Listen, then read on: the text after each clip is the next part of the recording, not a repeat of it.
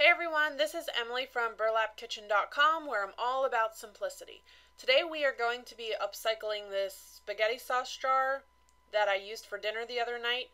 So the first thing I did was I took off the label and there was still some sticky stuff on. I did rinse that off with warm water, but I'm going to make it the back so I'm not too worried about it. The next thing I did was I just painted the entire jar with some white chalk paint.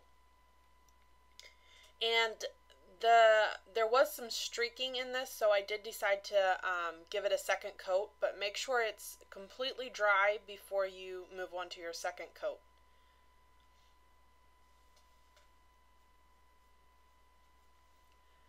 Now I'm also going to paint the lid and I'm going to do the same exact thing with the lid. I decided to give that two coats as well because of the streaking.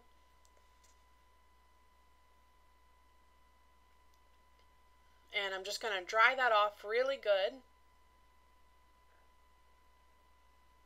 And now I'm going to go ahead and give my jar that uh, second coat of paint that I was just talking about. You can see some of the bare spots there that I'm trying to paint over. Okay, now I'm just going to dry this nice and good, and you can see that little bare spot there, that's where the paint was wet, and I had it tilted. So I just wanted to touch that up. And now I'm going to go ahead and touch up my lid and give that a second coat.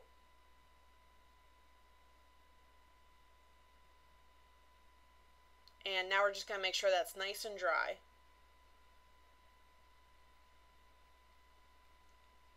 Okay, so now I'm going to take some sandpaper and I'm just going to rough um, over the jar with the sandpaper. I really like that uh, farmhouse grunge look, so this is the best way to achieve that. I like to focus on like the corners and the ends and like up around the um, mouth of the jar. You can see where that's kind of just taken some of that paint off and just giving a really pretty farmhouse look. And I'm going to go ahead and do the same thing around the edge of the lid.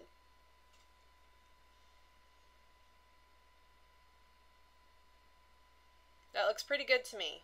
So now we're going to just take this stencil. This is a Magnolia Designs Company stencil. Um, I'm going to take that stencil. This was actually part of a bigger stencil that I had cut down. And I, I used this one pretty heavily, so it's starting to get not very sticky. So I just uh, placed that down, and I'm going to use the permanent ink paste for this one.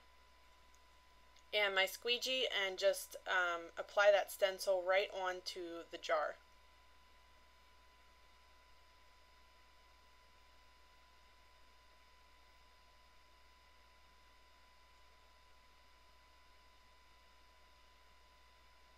And I'm trying to be very careful not to get any of the black ink onto my white jar.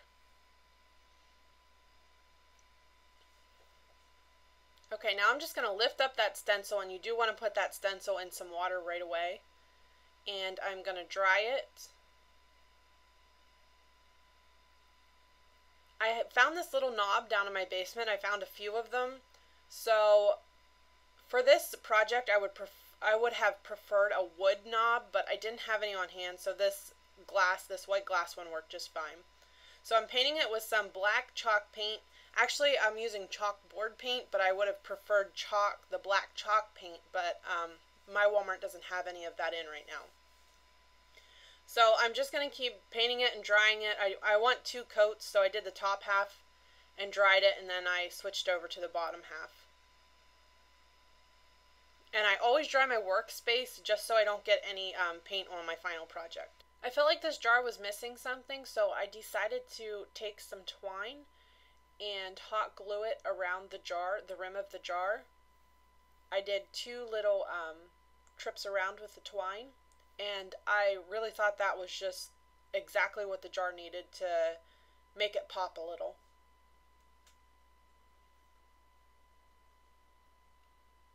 And when you do this, you want to start gluing in the back and put your first piece in the back so the messy piece is all in the back and no one can see it. I'm just going to keep gluing this around, around the rim. This is my um, second trip around here with the twine. And then I'll finish in the back too. That way all the um, stuff that we cut and all the yucky parts are all in the back. I'm just going to cut that down and hot glue that little piece to the back of the jar.